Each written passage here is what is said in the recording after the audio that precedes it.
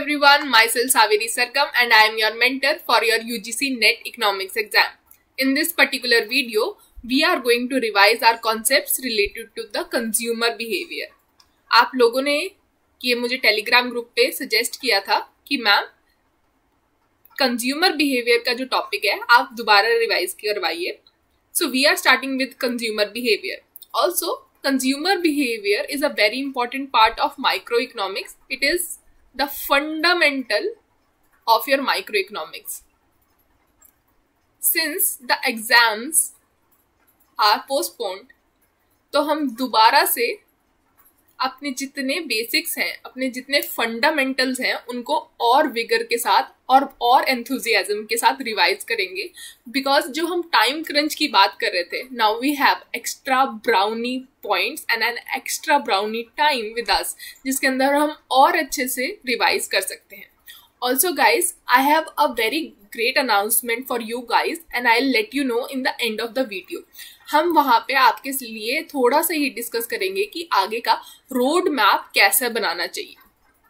So stay tune and let us start with our video before getting into the video please subscribe to our YouTube channel and press the bell icon ये सारे जो हम sessions हैं Monday Wednesday और Fridays लेके आते हैं for economics alright guys. So do subscribe to our youtube channel. Also do join our telegram group. जैसे ये वाला पर्टिकुलर सजेशन हमारे टेलीग्राम uh, ग्रुप से ही आया था फॉर द कंज्यूमर बिहेवियर ऐसे ही आप भी अपने जो भी प्रॉब्लमेटिक सेक्टर्स हैं जो भी प्रॉब्लमेटिक टॉपिक्स हैं वो आप मुझे यहाँ पे बता सकते हैं. Also you can contact us on double nine double nine four double six double two five for our course related queries. Alright. So let us start with our first concept. Now here we are going to try something very different. पहले हम questions discuss कर रहे थे and then we were solving the questions. Today we are actually going to understand the concepts. और ये जो concept हैं they are related to the consumer behaviour और बहुत ही प्रोग्रेसिव मैनर में हम यहाँ पे इनको पढ़ेंगे प्रोग्रेसिव कैसे यहाँ पे भी we are going to solve some questions but in a progressive manner मैं आपको यहाँ पे कॉन्सेप्ट पढ़ाऊँगी, उसके बाद I last you a question और फिफ्थ क्वेश्चन तक पहुँचते पहुँचते the difficulty level will keep on increasing so let us start with our first concept that is the demand now demand is something which satisfies a person.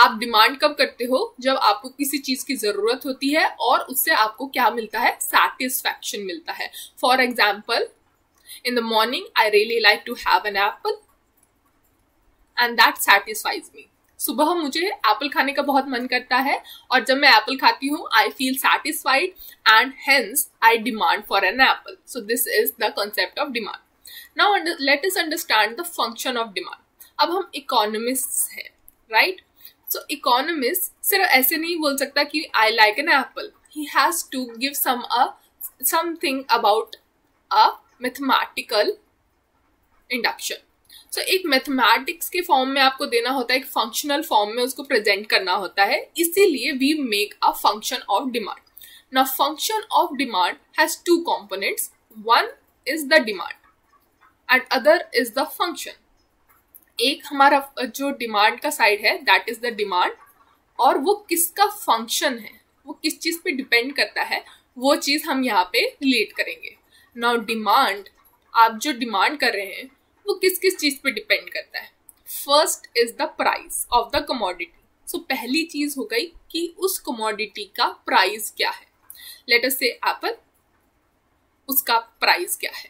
Price of an apple so मेरी जो demand है वो price पर depend करेगी। Next is मेरी income क्या है? So so, मैं कितना कमा लेती हूँ जिससे मैं एप्पल खरीद पाऊँगी और कितने एप्पल खरीद पाऊँगी? Next is the price of the other good अब price of the other good comes then I am in different between let's an apple and an banana सुबह उठ के चाहे मुझे एप्पल मिले चाहे मुझे बनाना मिले आई फील इक्वली सेटिस्फाइड इसका मतलब है कि मैं एक चीज़ को दूसरे चीज़ के लिए सब्सटीट्यूट भी कर सकती हूँ। तो अगर प्राइजेस ऑफ़ बनानास जो हैं, वो फॉल करते हैं दे डिक्रीज तो I consume more of banana and less of an apple तो मेरी जो डिमांड है for apple actually is dependent on the demand of banana two next is the preferences अब it might happen that for me apple and bananas are equal but किसी के लिए ऐसा हो सकता है दैट ही और she prefers banana over apple so it might happen कि जो आप, कोई ऐसा बंदा हो जिसको बनाना ज़्यादा पसंद हो एज कंपेयर टू एप्पल्स तो वो बनाना ही कंज्यूम करेगा, चाहे उसके प्राइजेस कुछ भी है। नेक्स्ट इज़ टेस्ट अब टेस्ट की बात ये हो सकती है कि मुझे फ्रूट्स पसंद ही नहीं है। तो मैं कुछ भी इनमें से कंज्यूम नहीं करूँगी। Next is the number of the consumers now number of the consumers are a very major part of micro economics क्यों? अगर number of the consumers increase कर गए मतलब कि डिमांड जो है इकोनॉमी में उस पर्टिकुलर गुड के लिए इंक्रीज कर जाएगी सप्लाई अगर उतनी ही रहेगी उस पर्टिकुलर चीज़ की तो क्या होगा? प्राइजेस इंक्रीज करेंगे। और प्राइजेस से हमने अभी पढ़ा कि जब प्राइजेस इंक्रीज करते हैं तो मेरी जो डिमांड है, वो डिक्रीज करती है। Now this is the concept of demand and this is the building block for micro economics so let's solve this question and latest test our knowledge which we have just learn okay question number one says which of the following may impact the demand of a consumer in the market First is the number of consumer in the market. Second is the price of the commodity. Third is the individual preferences. And fourth is the preferences of all the consumers. Now these are your options and do let me know in the chat box what do you think is the correct answer.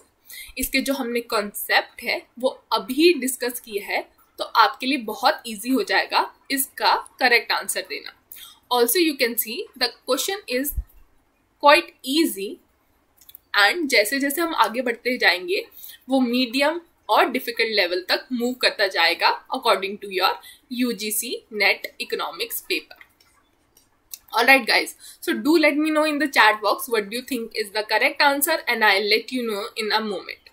Also keep on a track of how many correct answers you are giving And do let me know in the end of the video कि आपके कितने marks आए out of five Alright guys, so the number of consumers in the market is a determining factor. We have just understood price of the commodity, individual preferences and the preferences of all the consumer. Now all these are a correct option. So all the options are correct. So D part is the right answer.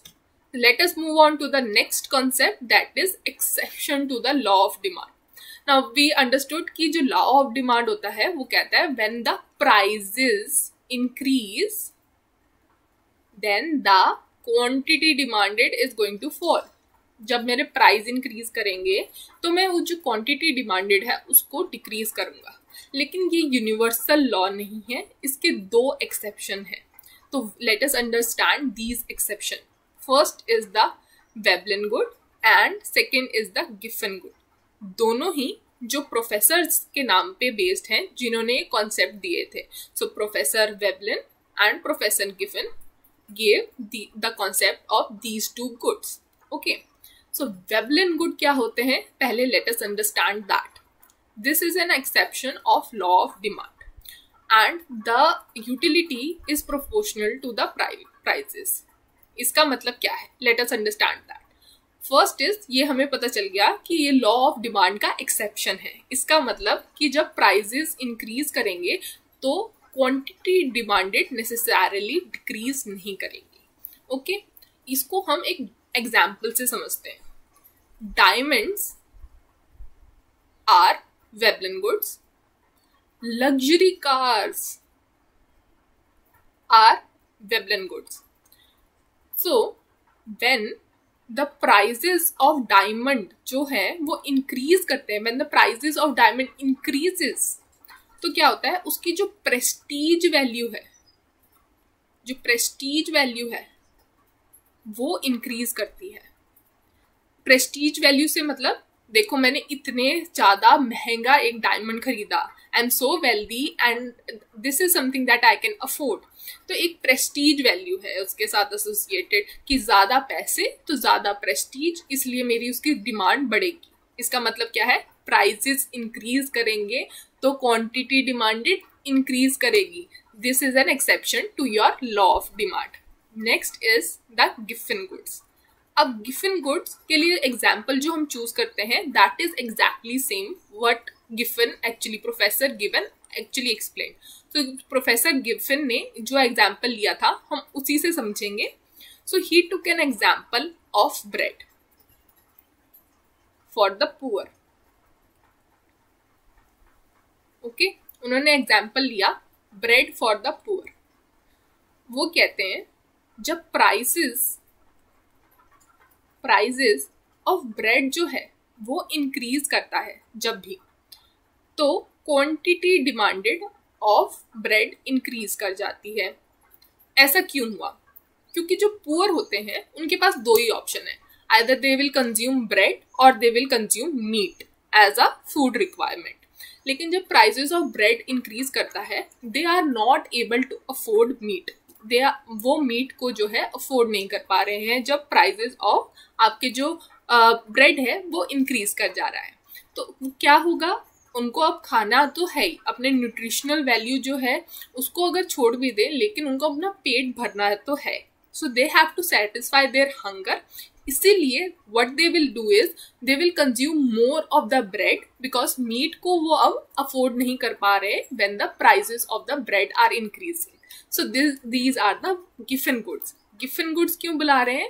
क्योंकि जब इसके prices जो हैं, वो increase कर रहे हैं तो क्वांटिटी डिमांडेड भी इंक्रीज कर रही है so these are the exception of the law of demand so let us move on to the question related to it now the question का जो स्टैंडर्ड है वो थोड़ा सा इंक्रीज कर गया है which of the following goods comes under doctrine of conspicuous consumption now this is something very special and let us uh, see the options first is giffen goods next is the inferior goods third is the Veblen goods and fourth is the normal goods मैंने अभी तक आपको conspicuous consumption का concept को introduce नहीं किया है but you guys can try and try to solve this particular question in the chat box if you are able then it's okay if not I give you the concept of doctrine of conspicuous consumption anyway so let's see how many of you can answer this particular question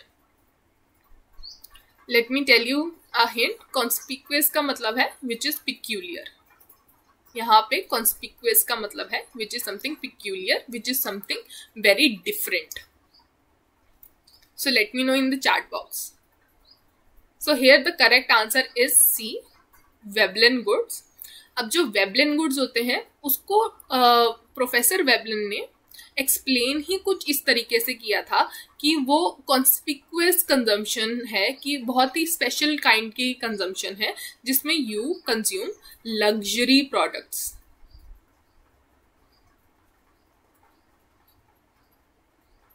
और ये luxury products जब price increase करेगा तो quantity demanded भी increase करेंगी. This was something peculiar at the time तो Veblen ने इसको कॉन्स्पिक्वस कंजम्पशन का नाम दिया था इसीलिए this is called doctrine of conspicuous consumption I hope you guys try to attempt this particular question in the chat box and let us move on with our next concept. Next concept is the is related to consumer behavior where we discuss two types of demand functions. First is the direct demand function and next is the inverse demand function all right guys direct demand function अभी हम पढ़ के आए हैं quantity demanded is a function of a lot of things अपने prices किसी और के कमोडिटी के प्राइजेस उसकी प्रेफरेंसेस उसका टेस्ट इन सारी चीज़ों पे जो आपका डायरेक्ट डिमांड फ़ंक्शन होता है, वो डिपेंड करता है। डायरेक्ट डिमांड क्यों कह रहे हैं उसको? कि क्योंकि आप क्वांटिटी डिमांडेड डायरेक्टली किन चीज़ों पे डिपेंडेंट है? You are taking this for micro economics to make a life a little bit simpler what we do is we say quantity demanded is a, for example, is a function of prices only. Okay? तो quantity demanded को हम सिर्फ़ prices का function लेते हैं and we say ceteris paribus ceteris paribus का मतलब है everything else remaining constant everything else क्या है जो हमने अभी पढ़ा? Number of other consumers taste क्या है प्रेफरेंसेस क्या है वो कांस्टेंट रह रही है। सो so, जो क्वांटिटी डिमांडेड है that is a inverse function of your prices okay so this is your direct demand next and the more interesting part is the inverse demand function so जो inverse demand function है उसके अंदर भी से कि इसी equation को हमने थोड़ा सा चेंज कर दिया। अब यहाँ पे हम प्राइजेस को दिखाते हैं as a function of quantity demanded so we actually say कि जो इनवर्स टर्म में prices as a function of quantity demanded लेके चलते हैं। Now this is an inverse demand function क्यों माइक्रो इकोनॉमिक्स में हमें करने की ज़रूरत पड़ी? क्योंकि हम ये देखना चाह रहे थे कि जो प्राइजेस पर क्वांटिटी डिमांडेड का क्या चेंज हो रहा है? So how does the prices react to the quantity demanded हमारा एम ये था, इसीलिए इसको इनवर्स डिमांड फ़ंक्शन कहते हैं। All right so let's move on to the question related to it the inverse demand function is defined as so the question is quite simple now it look simple but अगर आप inverse demand function आपको नहीं पता होता कि exactly exactly क्या है then you guys would not be able to answer this particular question altogether so let us see what are the option A part says quantity demanded as a function of price. B part says price as a function of quantity demanded. Both A and B are defined as the inverse demand function. It shows the breakup of the price effect into the substitution effect and the income effect. Okay. So let uh, let me know in the chat box. Key, what do you think is the correct answer? for the inverse demand function. Okay, I hope you have been answering and the correct option is B. Let us move on to the next concept and it gets more and more interesting. We are going to talk about the bandwagon effect. Now we have talked about this concept quite a bit. हम थोड़ा graphically इसको समझेंगे okay okay? so, सबसे पहले हमें ये समझना चाहिए कि एक चीज़ है network externalities network externalities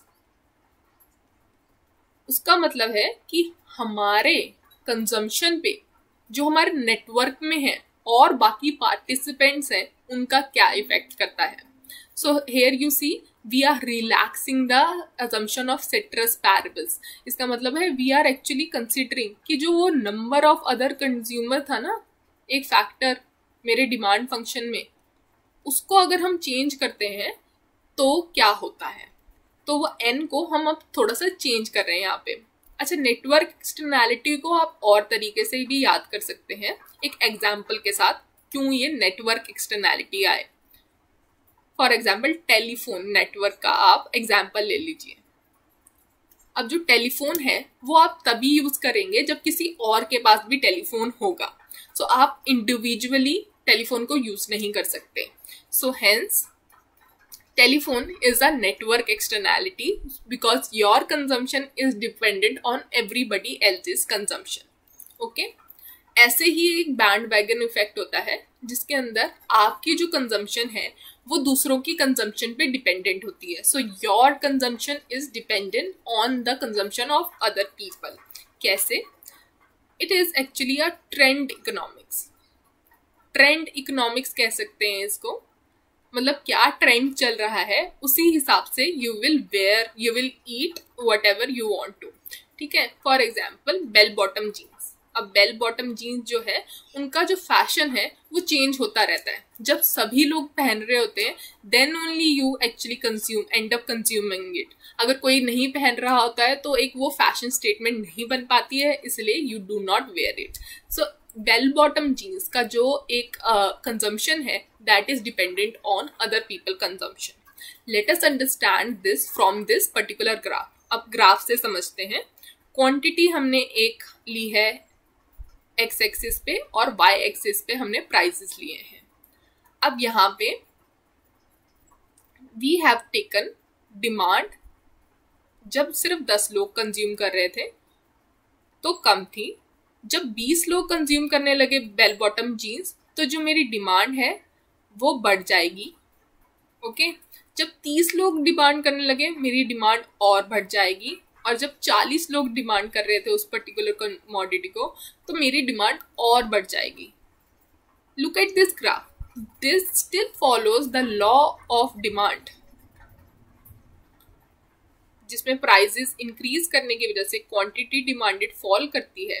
But if you see if you notice the demand curve becomes a little more flat थोड़ा सा फ्लैट हो गया है हमारा demand curve curve from the usual one now this is the bandwagon effect जब मेरी consumption आप लोग सब क्या कंज्यूम कर रहे हो, उस पर भी डिपेंड करती है. So let us move on to the question related to this now the question का जो लेवल है now the level of the question has actually improved. Is actually moving towards medium to difficult type of question. So let us understand this particular question and let me see how many of you can answer this question. Select the correct statement about bandwagon effect. Part a says it violates law of demand.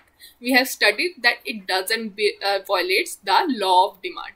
Second part says if it, it refers it refers to the desire to possess a unique commodity having a prestige value. So this is correct. The it forms it is a form of network externality. This is also correct. It is an example of a positive network externality. I'm really sorry. Here it should have been incorrect. So incorrect का option जो है that is part A so part A is your correct option. So here you had to answer which part is incorrect. Let us move on to the next concept and I hope you enjoyed solving this particular question. इसके अंदर हमारे जितने भी network externality के concept थे वो revise हो गए Alright guys, so let us move on to the next question of utilitarianism and Amartya Sen. So अब हम यहाँ पे utility का मतलब पहले समझ लेते हैं अब utility means satisfaction that a consumer derives from the consumption of a good or combination of good. मतलब जो भी आपको सेटिस्फाई करे।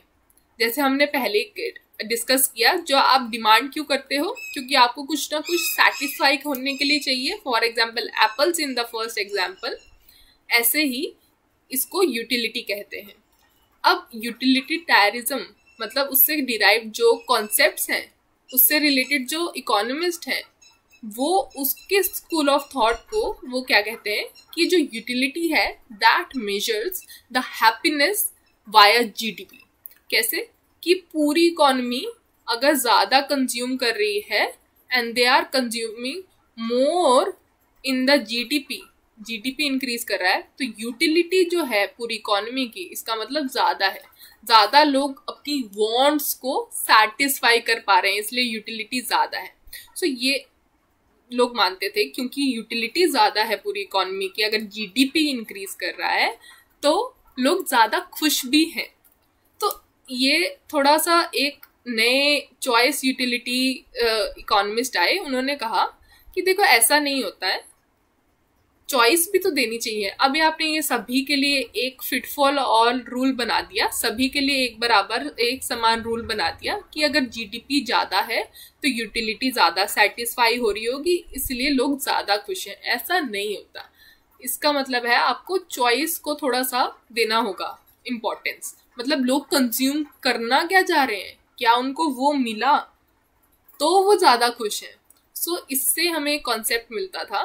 परेटो ऑप्टिमैलिटी का, जिसमें जैसे कि गवर्नमेंट को कुछ नहीं करना चाहिए और मार्केट जो अपना काम है, वो खुद कर लेंगी। इसका मतलब यूटिलिटी का जो पूरा कॉन्सेप्ट है, वो इस चीज़ पे बेस्ड है कि गवर्नमेंट शुडेंट डू एनीथिंग जो मार्केट्स हैं, वो अपना काम खुद कर लेंगी। जिसको जिस चीज़ से सेटिस्फैक्शन ज़्यादा मिलेगी, वो वो चीज़ कंज्यूम कर लेगा और ऐसे हैप्पीनेस बढ़ेंगी। अब इस पे अमर्त्या सेन का क्रिटिक है। From a micro economics angle वो कहते हैं, ऐसे थोड़ी ना हैप्पीनेस बढ़ती है। ऐसे कंज्यूम कर लिया और आप खुश हो गए, ऐसा नहीं होता है। There are multiple factors to this happiness and this can not be just defined from mass consumption बहुत ज़्यादा कंज्यूम करने से और बहुत ज़्यादा मासेस के कंज्यूम करने से भी लोग खुश नहीं रहेंगे। स्किल डेवलपमेंट करनी होगी गवर्नमेंट को।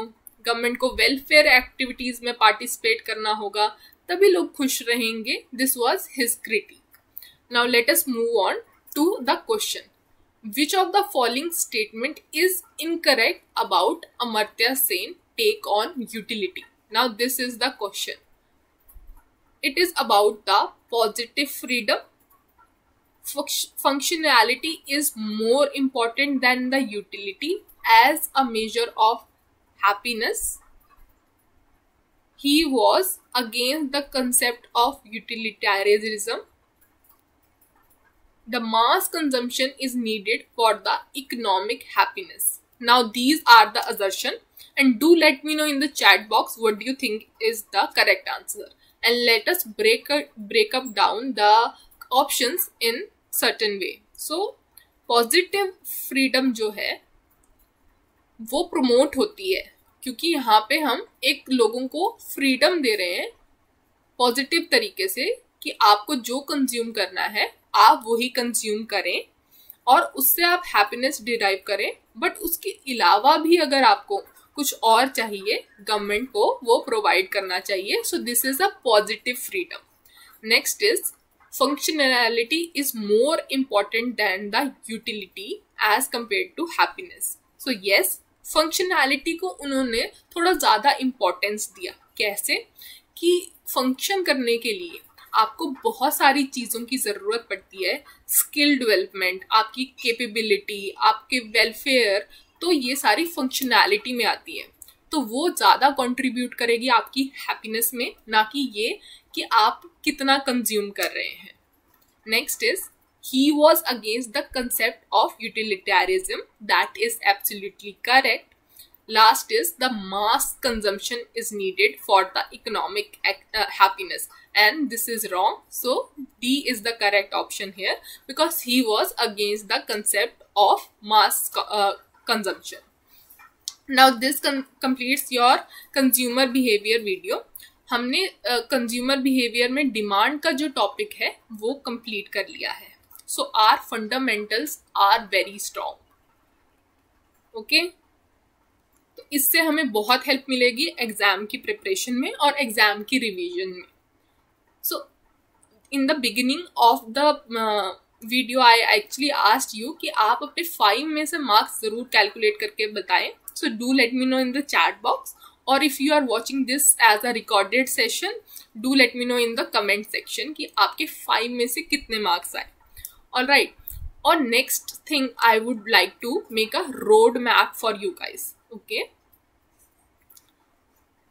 अब हमारे पास we have a brownie period okay तो those of you who are enrolled with us after watching this video this demand video do revise your concept related to utility अब utility हमने थोड़ी सी start कर दी है इस पर्टिकुलर वीडियो तो आप जाके उसको भी रिवाइज कर लें। ऐसे ही जो भी इंपॉर्टेंट कॉन्सेप्ट होंगे, कोई भी टेलीग्राम ग्रुप पे यू कैन टेल मी और हम वैसे ही उनको पिकअप करते जाएँगे and you complete these videos with your course videos next में those who are not enrolled with us guys अब इस वीडियो में आपको बहुत ज़्यादा फंडामेंटल्स आपके स्ट्रॉन्ग हो गए हैं।